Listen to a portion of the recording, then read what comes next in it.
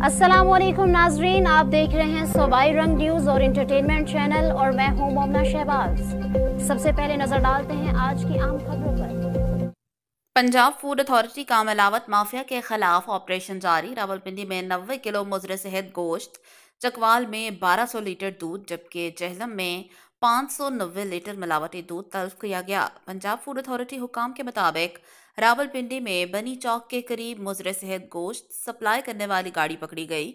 बदबूदार और मुजर सेहत गोश्त का मौका पर कोई रिकॉर्ड फराहम नहीं किया गया। जाल साथी पर सप्लायर के खिलाफ मुकदमा दर्ज करवाया गया है।